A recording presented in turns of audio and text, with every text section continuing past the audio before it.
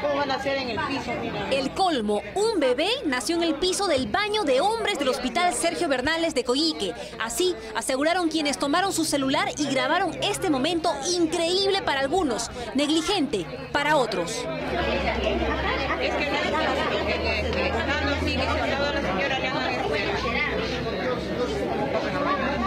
¿Cómo corren al baño? Ante el asombro de los pacientes de emergencia, una enfermera corre al baño de hombres. Luz Laulate pidió ser atendida. No soportaba más los dolores propios del parto, pero le dijeron que camine, que todavía no había llegado el momento. Otra mujer que esperaba ser atendida por los médicos narró la escena. Nace una bebé en el hospital de Coyique a las 9 de la mañana con 44 minutos en el baño. No le quisieron atender a, a la hora y la señora ha dado luz en el baño de varones. Vimos ahí llorando al bebé en el baño. Escucharon los llantos, buscaban un familiar de luz y justo en ese momento, observe la puerta del baño. Cubierto en la manta celeste, retiraron el bebé del baño y ahí afuera estaba Luis Monsovite, el padre, confirmando algo muy preocupante.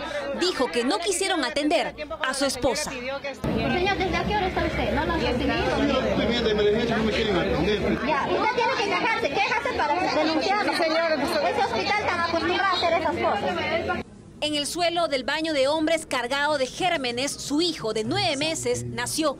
Varios minutos después llegó una camilla. Sí, lo vamos a mandar ahorita, ahorita. Señores, por favor, tenemos que esperar más abajo, ya dejemos trabajar. Tienen que grabar, pues estaba haciendo Ah, señora, pero más abajito porque dejen trabajar, por favor. En ese momento de tensión, escuche qué le piden al padre del bebé.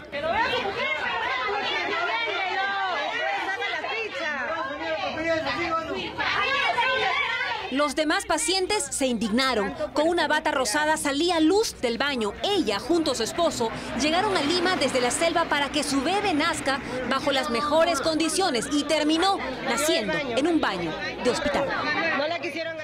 Increíblemente indignante. Lo peor que le ha podido pasar a este hospital es que nosotros tengamos en exclusiva estas imágenes que nos permiten contar una historia que no se puede permitir, señores. Justamente en estos días estamos nosotros presentando diariamente informes especiales que hablan acerca del servicio médico en el Perú, ya sea en centros, establecimientos muy pequeños, en grandes hospitales, es salud, Minsa, en fin. ¿Cómo es posible que médicos, enfermeras del hospital de Coyique no sepan atender a una mujer que llega para dar luz, señores, para traer vida? ¿No saben lo que implica un parto natural? Bueno, pues yo sí. Y es realmente doloroso y es realmente fuerte, no solo física, sino también emocionalmente. ¿Cómo es posible, repito, que una mujer tenga que dar a luz en esas condiciones, como si fuese prácticamente un animal, en el baño de hombres, expuesta a cualquier peligro y expuesta también a cualquier virus o enfermedad que pueda contraer ella o el recién nacido? El bebé nos dicen que por suerte está bien, pero la mamá y el papá de esta criatura, la madre, sobre todo la víctima, hablaron en exclusiva también con nosotros y esto fue lo que nos contaron. Y justo Yo no aguantaba, yo he vuelto y le digo a una, a una señorita, le digo, que ya no aguanto ya, porque ya va a tener. ¿Qué le respondieron? Ella me dijo, este, vaya caminando todavía, me dijo, pero todavía no, es- no te veo que, que viene el dolor cada seguidito, pues. Y yo le digo, ya, ya van a nacer, ya le digo. Y no me quiso atender a las chicas. Ni siquiera le revisó. Nada, nada, nada, no me No le revisaron. ¿Qué le dijeron? Siga caminando. Sí, sigo caminando y yo sentía que van a ser mi bebé. Y fui al baño y cuando estaba ahí, pues, ¿no? Se reventó el agua de mi bebito. Se reventó la fuente. Sí. ¿Se, se fue a qué baño? ¿De mujeres, de No varones? me da cuenta, señorita, no sé qué va. Se metió a cualquier baño. Sí. Pero está bien de salud. Sí, el doctor me dijo que está bien, porque el rato más que lo han sacado de ahí, lo han llevado allá donde están los bebitos.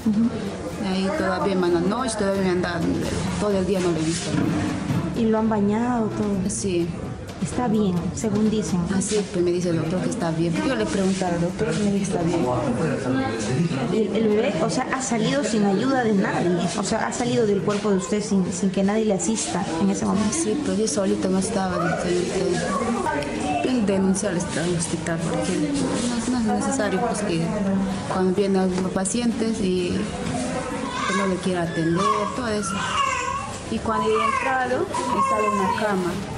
Estaba en una cama y me dice la, la señorita me dice sí este ¿por qué mejor no has tenido en tu casa que has venido acá? me dijo La enfermera, así le respondió. sí así me dijo ¿por qué no has tenido en tu casa? me O sea, dijo ni siquiera se han disculpado con nada, usted. nada, nada Sí, se yo veía ahí toda su, toda su ropa, su- sus zapatillas también.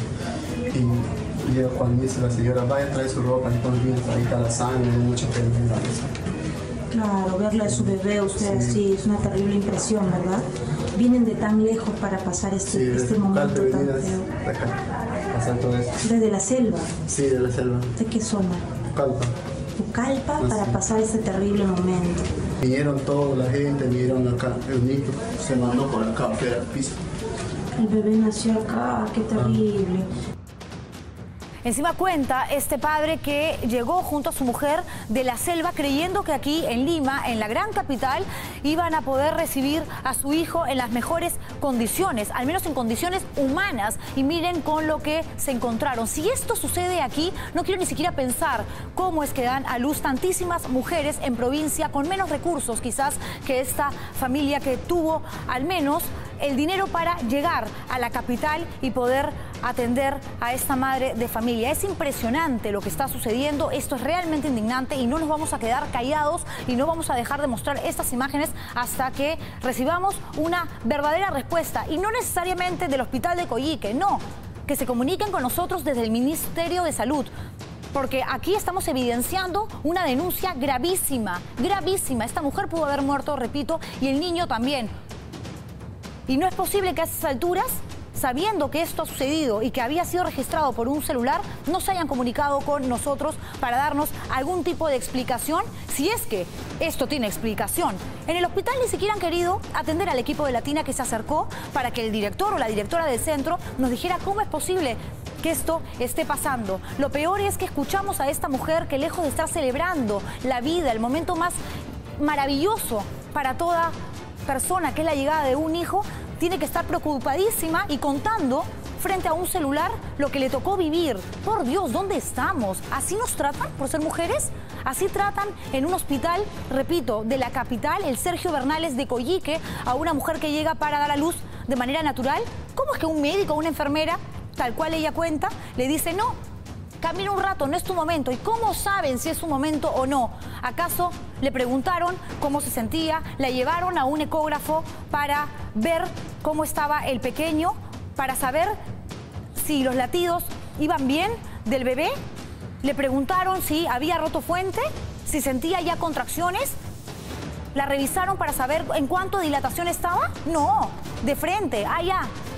Tú eres una más que llega aquí, da vueltas nomás hasta que se te venga el bebé, porque así les hablan a las personas que no tienen recursos y que no tienen la suerte que podemos tener muchas de acceder al sistema privado de salud, es decir, a un seguro particular. No hay derecho, no hay derecho de tratar a un ser humano así, hombre o mujer. No hay derecho y no lo vamos a permitir. Todos los detalles de esta historia también los va a conocer ustedes mañana en 90 Matinal, porque esto tiene para rato. Y en 90 Noche también esto va a seguir, porque las réplicas, los ecos, los comentarios, por supuesto que van a continuar. La indignación, aquí tengo a los chicos en el estudio, es absoluta, es absoluta. Es increíble. Si no empezamos por esto, no pensemos, ni, ni esperemos, ni soñemos con ser un país diferente, porque supuestamente todo país que quiere crecer, lo primero que hace es preocuparse por las poblaciones más vulnerables y sobre todo por los niños, aquellos que ya nacieron y los que están por nacer, que también tienen vida, también tienen corazón y también sienten. Lo peor es que más adelante vamos a hablar también acerca de dos niños que aparentemente han sido agredidos físicamente. Son terribles noticias, cosas de las que por supuesto nos gustaría nunca hablar.